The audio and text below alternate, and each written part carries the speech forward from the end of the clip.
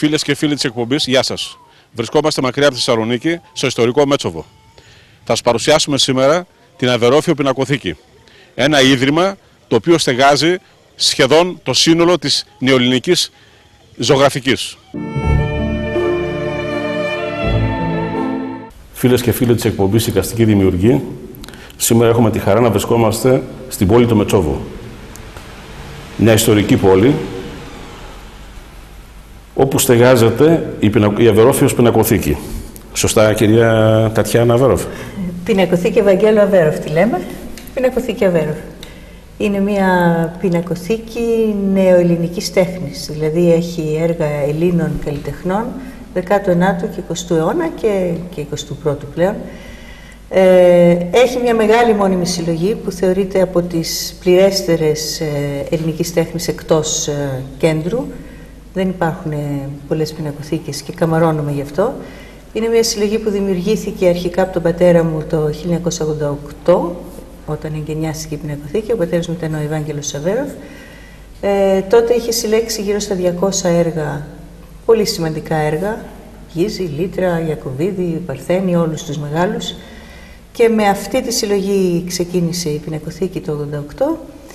Έχουν περάσει 20 τόσα χρόνια από τότε και η συλλογή έχει περίπου τριπλασιαστεί σε αριθμό και με έργα νεότερων καλλιτεχνών και με ορισμένα παλιότερα, αν και το παλιό κομμάτι ήταν πολύ, ήταν πλήρες, ήταν πολύ αξιόλογο. Και είναι μια, ένας μεγάλος χώρος με πέντε αίθουσες, παρόλο που δεν φαίνεται από την πλατεία γιατί είναι έτσι κάπως κατηφορικά, όπου υπάρχει πάντα, ο επισκέπτης μπορεί πάντα να δει ε, τα μόνιμα έργα, εκτός όταν έχουμε έκθεση, όπως τώρα, όπου ε, κάποιες αίθουσες μαζεύονται, φεύγουν τα μόνιμα έργα και γίνονται, γίνεται μια έκθεση ανάλογα με το θέμα. Το κτίριο αυτό πότε ξεκίνησε να δημιουργείται; Ε, χτίστηκε ειδικά για να στεγάσει την, ε, τη συλλογή και ε, τώρα δεν θυμάμαι πότε ξεκίνησε ακριβώς, πάντως εγκαινιάστηκε το 88. Το 88. Θα κτιζόταν τρία χρόνια, κάτι τέτοιο. Ο ίδιος το έκτισε, δηλαδή ο ίδιος με δική του επίβλεψη και φροντίδα, ο ίδιος το εγγενίασε και πέθανε ένα χρόνο μετά. Αυτά τα έργα υπήρχαν κάπου στεγασμένα και μεταφέρθηκαν εδώ ή... Ε, τα μάζευε σιγά σιγά από καιρό. Από πολύ νέος είχε αρχίσει, δηλαδή και από φοιτητής ακόμα έλεγε ότι ε, θαύμαζε την τέχνη, ήθελε να δείξει στον κόσμο ότι η Ελλάδα δεν είναι μόνο η αρχαιότητα, αλλά έχουμε και, και μετά από την αρχαιότητα σημαντικά πράγματα. Ε, είχε φτιάξει μια πρώτη συλλογή, εποχή δικτατορίας ήταν έτοιμη, έτοιμη συλλογή για να δημιουργηθεί η πινακοθήκη, αλλά τότε με τη δικτατορία διάφορα κυνηγητά και αυτά που είχε, ε, φοβήθηκε ότι μπορεί να κακοπάθει είτε η συλλογή είτε οι άνθρωποι που θα δουλεύανε μαζί του και την πούλησε ολόκληρη στον ε, τάση των Λεβέντη και σήμερα, που, που τότε σχεδίαζε να φτιάξει μια πινακοθήκη στην Κύπρο. Και αυτή η συλλογή σήμερα ανήκει στο Ίδρυμα Λεβέντη. Έχει την περιπέτεια δηλαδή. Ναι, ναι. Αλλά έλεγε ότι με το που ε, έκανε αυτή την πράξη, ε, σπάνια είχε μετανιώσει τη ζωή του τόσο πολύ για, για κάτι και από την επομένη με τα λεφτά που πήρε από, τη συλλογή, από την πώληση της πρώτης συλλογής άρχισε ξανά, δηλαδή από το 65 και πέρα άρχισε ξανά να μαζεύει. Να δημιουργεί. Να δημιουργεί και ε, οι ειδικοί λένε ότι είναι μια πιο μουσιακή συλλογή αυτή, η δεύτερη, γιατί την έφτιαξε με περισσότερη γνώση και... Μεράκι. Ναι, και με στόχο να είναι μουσιακή, να είναι μουσείο, όχι απλώς ότι του άρεσε το έπαιρνε.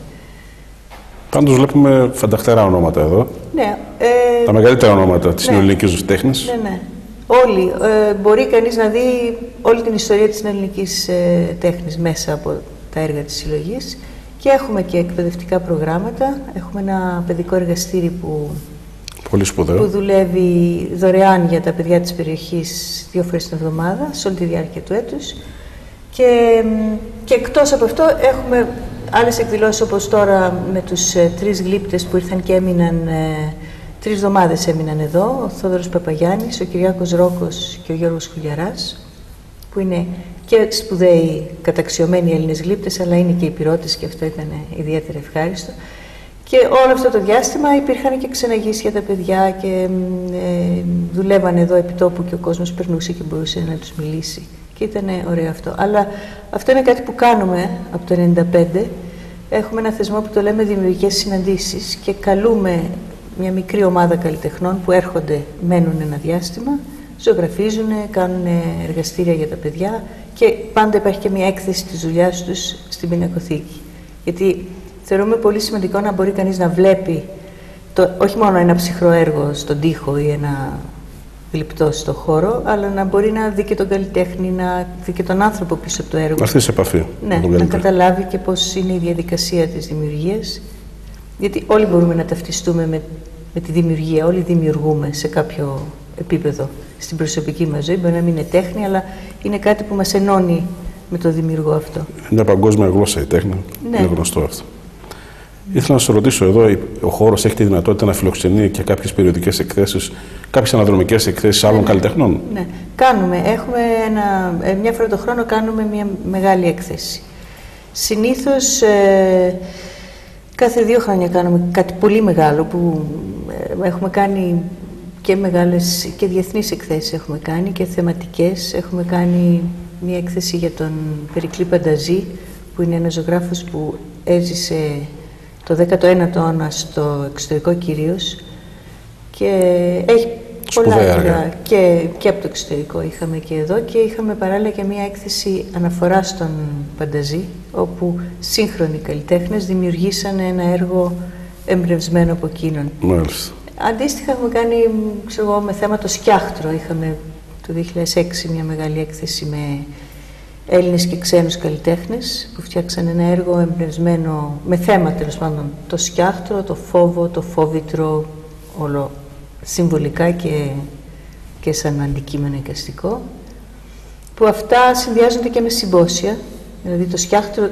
το συνδυάσαμε ένα συμπόσιο με θέμα το φόβο στην τέχνη και στη ζωή γενικά. Το Μπανταζή το συνδυάσαμε ένα συμπόσιο τέχνη και ελληνισμός της διασποράς που είχαν έρθει μεγάλα ονόματα Ελλήνων της Διασποράς.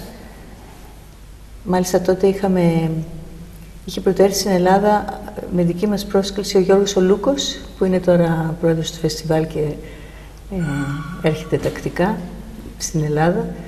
Είχε έρθει ο Γιάννης ο Κουνέλης, ε, ο Σερτής ο Χαβιαράς. Ε, κάνουμε, κάθε χρόνο κάνουμε κάτι, κάτι μεγάλο. Και, και αυτές τις δημιουργικές συναντήσεις που σας λέω, που είναι λίγο πιο ε, ας το πούμε με εκπαιδευτικό στόχο, αλλά και αυτά είναι εκθέσεις περιοδικές. Και ίσως είναι και το πιο σπουδαίο αυτό το κομμάτι ναι, είναι Το πιο, είναι το πιο σπουδαίο για τον τόπο, για το, για το τοπικό κοινό. Ε, τα άλλα είναι πιο πολύ μια συμμετοχή στο, στο ελληνικό ή και στο διεθνές καλλιτεχνικό γίγνεσθε, γιατί πρέπει και να είμαστε λίγο δυναμικοί και όχι μόνο δάσκαλοι και εκπαιδευτές και να προβάλλουμε Πάντως, η αποκέντρωση εδώ είναι σε όλο το μεγαλείο. Στην τέχνη εννοώ αποκέντρωση, ναι. εκτός κέντρου. Ναι. Δηλαδή, γιατί γνωρίζουμε ότι το κέντρο είναι η Αθήνα και λίγο η Θεσσαλονίκη, έτσι. Ναι, ναι. Τώρα, είναι πολύ σπουδαίο για μένα γιατί βρίσκεται σε μια πόλη η οποία είναι έτσι, ας πούμε, λίγο μακριά από το κέντρο. Πιστεύω ότι τώρα είναι, είναι πιο εύκολα, θα αλλάξει σιγά σιγά είναι πολύ πιο εύκολη η πρόσβαση. Υπάρχει επισκεψιμότητα; Υπάρχει, έχει αυξηθεί πολύ από τότε που άνοιξε η Εγνατία. Ε, δεν έχω πρόχειρα νούμερα να, να δω πόσο έχει αυξηθεί, αλλά το, το βλέπουμε και πολύ περισσότερα σχολεία έρχονται και πετάγονται από τα Γιάννενα, ακόμα και από τη Θεσσαλονίκη πετάγονται εύκολα. Δεν είναι να πάρεις απόφαση να κάνεις ένα ταξίδι. Έρχονται. Φίλες είναι... και φίλοι, θέλω να σας πω ότι εδώ υπάρχουν σπουδαία έργα και αξίζει τον κόπο κανείς, όπου και αν έρθει από όλη την Ελλάδα, ε, να επισκεφτεί το χώρο. Είναι πάρα πολύ σπουδαία τα έργα. Ε, σχεδόν συμπεριλαμβάνεται όλη η γκάμα των, ε, το, της νεοελληνικής τέχνης, της ε, ζωγραφικής.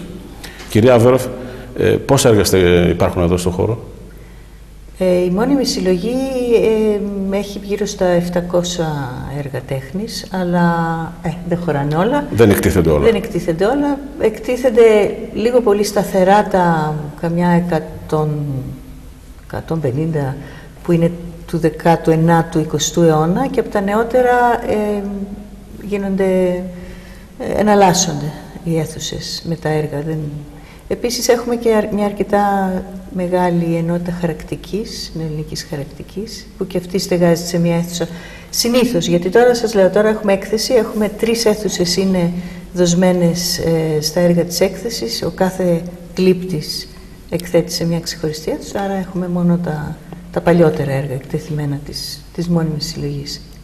Υπάρχει κάποιο έντυπο υλικό για τους επισκέπτες; Άπειρο.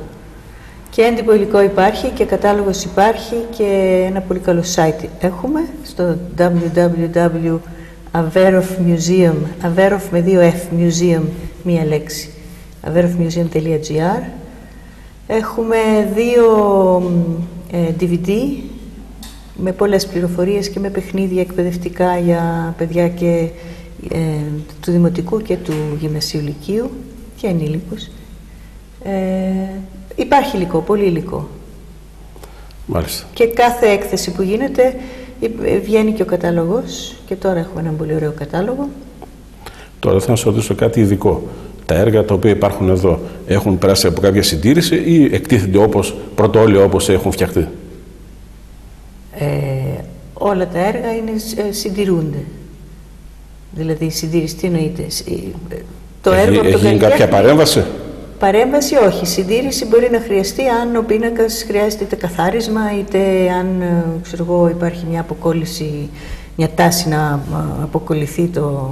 Ή μια, μια βλάβη. Είναι σε άρεστη κατάσταση από ό,τι είδα εγώ. Ναι, δεν χρειάζεται. Είναι σε καλή κατάσταση. Δεν, επέμβαση δεν γίνεται. Δηλαδή και, και οι μέθοδοι σήμερα των συντηρητών είναι πολύ προσεκτικοί. Ακόμα και αν έχει καθαριστεί, αφήνουν ένα κομματάκι για να φανεί πώς ήταν. Ε, αλλά έχουμε και συνθήκες ε, που, που είναι σύμφωνες με τις διεθνείς προδιαγραφές για μουσεία, ώστε να... να Σταθερές θερμοκρασίες. Σταθερές θερμοκρασίες, έλεγχος υγρασίας, ε, φωτισμός σωστός, ώστε τα έργα να, να μην παθαίνουν ζημιά. Ε, ζημιά δύσκολο είναι όταν ταξιδεύουν για να λάβουν μέρος σε άλλες εκθέσεις. Εκεί είμαστε λίγο προσεκτικοί. Δίνονται έργα για άλλες εκθέσεις. Ναι, συνεργαζόμαστε με πολλά μουσεία. Βέβαια, με μουσείο κανονικό συνεργαζόμαστε πιο εύκολα. Ε, Αλλιώς, αν είναι ένα μουσείο που δεν έχει τις ανάλογες συνθήκες, ε, δεν θα στείλουμε, ας πούμε, το, το μεγάλο έργο του Λίτρα, ένα παλιό έργο, γιατί σε κάθε ταξίδι, άμα έχει ε, διακυμάνσεις θερμοκρασίας ή αυτά, γυρνάνε μετά, ε, τότε θέλουν συντήρηση. Ναι. είναι, είναι ευαίσθητο είναι ευαίσθητο, ναι. Κυρία Βέροφ, θέλω να σε ευχαριστήσω για τη σημερινή σας παρουσίας στην εκπομπή και, εγώ και να σας ευχηθώ να είστε πάντα καλά και να προσέχετε αυτόν τον ιερό χώρο, θα τον ονομάσω. Ευχαριστώ πάρα πολύ και εγώ να προσκαλέσω όλο τον κόσμο να έρθει στο Μέτσο, είναι κοντά, είναι ωραία βόλτα, έχει και πολλά άλλα αξιοθέατα έξω από την πινακοθήκη και είναι μακάρι να, να, να έρχεται ο κόσμος.